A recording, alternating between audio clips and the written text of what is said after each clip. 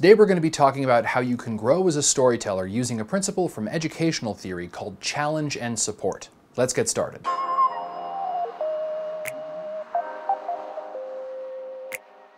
Now I have a background in educational theory from my time working in higher education, but also from my master's degree. And the thing that's interesting whenever we talk about the idea of challenge and support as a theory is how well it actually applies to becoming a better game master. Because there's something that I've seen happen a lot on subreddits and Twitter and just anywhere where people get together to talk about how to become a better GM, uh, it's the idea of how you can grow and balance the level of challenges that your players are actually going to be facing. Finding a balance between challenge and support is really hard, and some systems like Dungeons & Dragons use something called challenge rating when you're talking about combat. But challenge rating doesn't necessarily apply to things like social interaction, and if you're not playing a game system that has challenge rating, then how do you know that you're balancing the challenge that the players you're actually looking for and providing enough support for them to become successful. And in educational theory, there's a similar concern. It's the idea of how do you grow a student using the appropriate amount of challenges that they have to face in an academic or social setting, but still support them enough to feel like they're capable of completing those challenges. And that theory, surprisingly enough, or maybe not at all, is called challenge and support.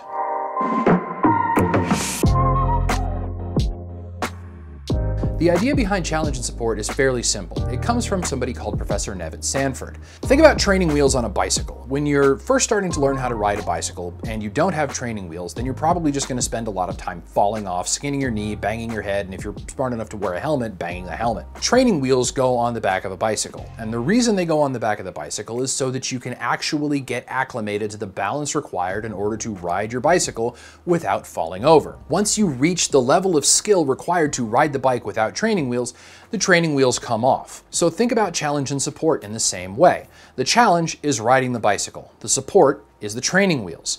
If you kept the training wheels on the bicycle for the entire time that you rode it for the rest of your life, the training wheels would get in the way and you might even end up falling over because they stop you from turning properly on the bicycle. So the idea behind challenge and support theory is to find that nice perfect arc between the amount of challenge that a student faces and the amount of support that they receive. So how can you do that? How can a college student, for example, receive the proper amount of challenge and support? Well, if you take a look at this, those students that don't have a lot of challenge or support that are really on the low end, generally speaking, probably don't have a lot of reasons to try. If nothing's challenging for them, then they're probably not going to try to succeed where they might have failed the first time. And if they don't have a lot of support to try and succeed, then they might feel like it's a fruitless endeavor. Similarly, if you have somebody who has far too much support and not enough challenge in their life, then you can end up with a situation where they stagnate. A student might not be able to actually feel like they need to accomplish anything on their own because the level of support that they have in their lives are really high. On the other hand, if you see a student that actually has so much challenge in their life and no support,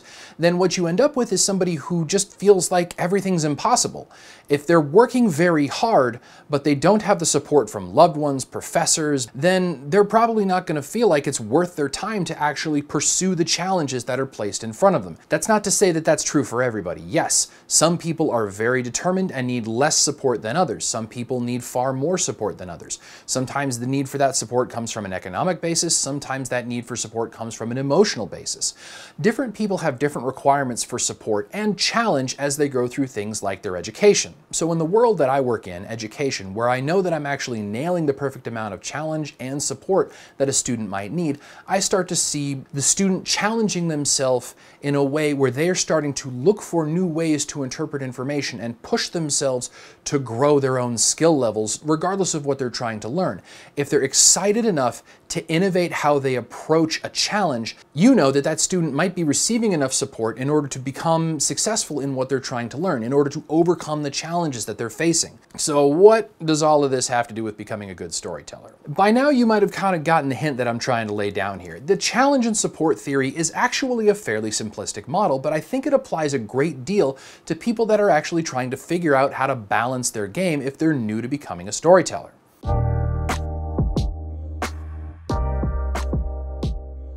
A lot of you are probably thinking, okay, great, yeah, I get it. I need to challenge my players and I need to support my players, but how do I do that? There's no one way to nail the perfect balance of challenge and support for your players every time, just like there's no one way to nail challenge and support for a student going through their education every single time. Everything that you're going to need in order to balance your campaign is subjective, but approaching your game from the lens of challenge and support can give you an idea of how to actually be successful and how to notice when you're being successful with challenging your players with new and different things in your games. With too much support and not enough challenge, then your players might actually become unmotivated to come to the game. It might feel like something that they show up and it's just too easy. On the other hand, if you have too much challenge and not enough support, then you end up with players getting really frustrated with the fact that they can't become successful.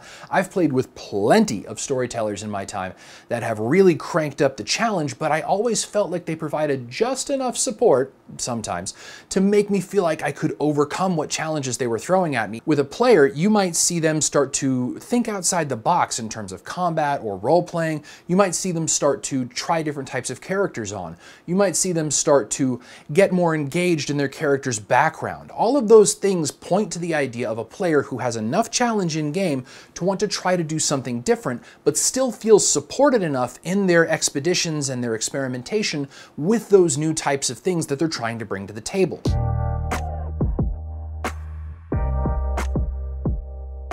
So I've talked a lot about the idea of challenge, support, and how they work together, but what are some ways that I've found to actually help notice that balance or create that balance in a game that you might be running? All of these tips are ways that have worked for me, but that doesn't necessarily mean these tips are going to work for your players or your parties.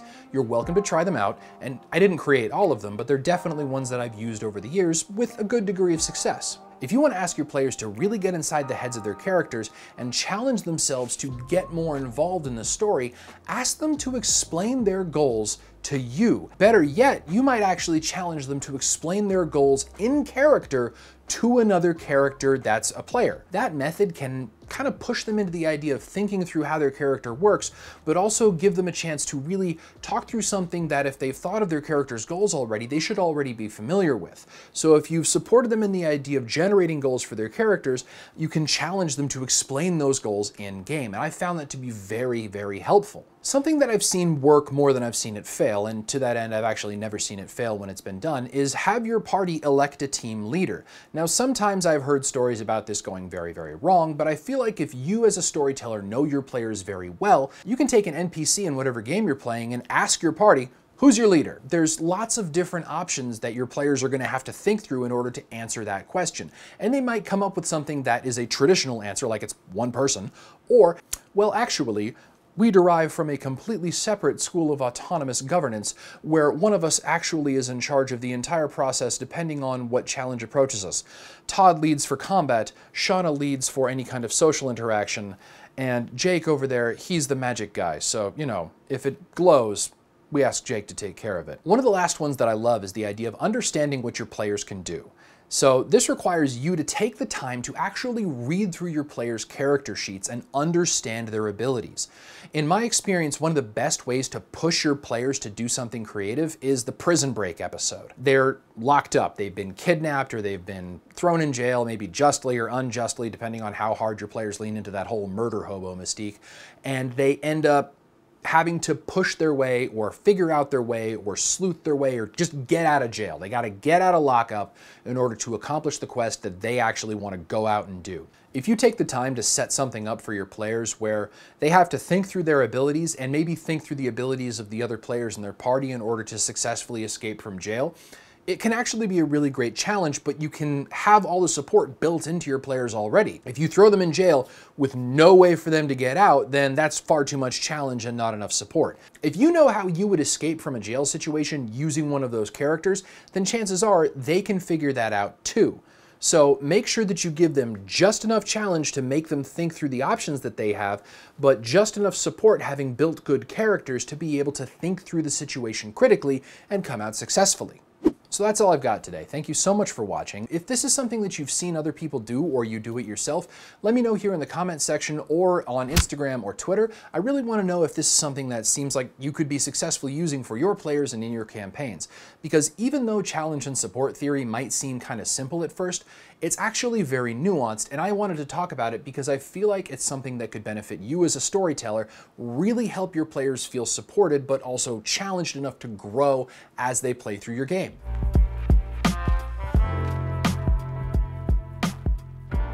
It's common to hear the phrase ask for help. It's advice I've given on this channel. But I wanted to turn it around for a second. Asking for help can be hard, and some of you may know that. And right now, especially with everybody staying inside, trying to be socially distant and being responsible about it, it's even harder to know if the loved ones that you have in your life are going through any kind of mental health challenge. But if somebody in your life is struggling with a mental health problem or might need help with their mental health, asking them if they need help is another great solution that you can have. Let them guide the conversation. Give them a chance to explain what they're going through. And most of all, please don't blame somebody for the mental health challenge that they're facing right now. Having a conversation with them, or at the very least just checking in with them, can make a world of difference in their lives in helping them to improve what they're going through and maybe feel the support that they need to be successful in the mental health challenges that they're facing currently. Thank you so much for watching. Take care, be kind, and have fun adventuring.